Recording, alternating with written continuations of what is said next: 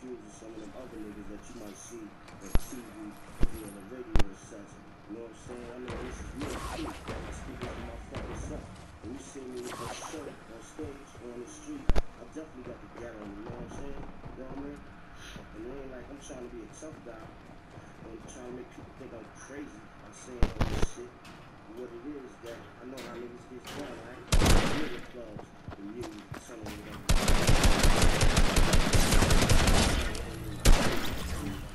Shooter or things like that. A lot of these so-called rap niggas ain't never seen those parts of that shit, you know what I'm saying?